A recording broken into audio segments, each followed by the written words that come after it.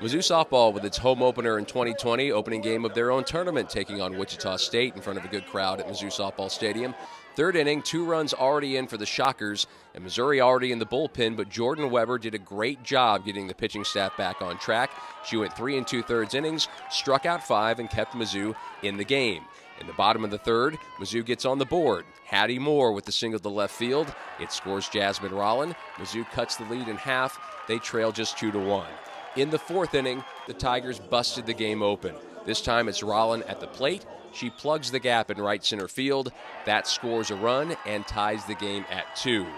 Moments later, Cayla Kessinger, back and healthy in 2020, a smash right off the pitcher. That scores another run, and just like that, Mizzou had its first lead of the day at 3 to 2. Later in the fourth inning, the Tigers load the bases, and they have exactly who they want up at the plate.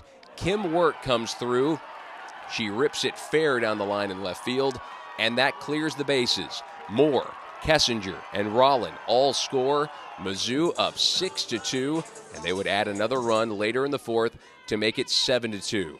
From there, the bullpen did its job the rest of the way. Eli Daniel got the last five outs of the ball game, including this liner to second to end it in the seventh.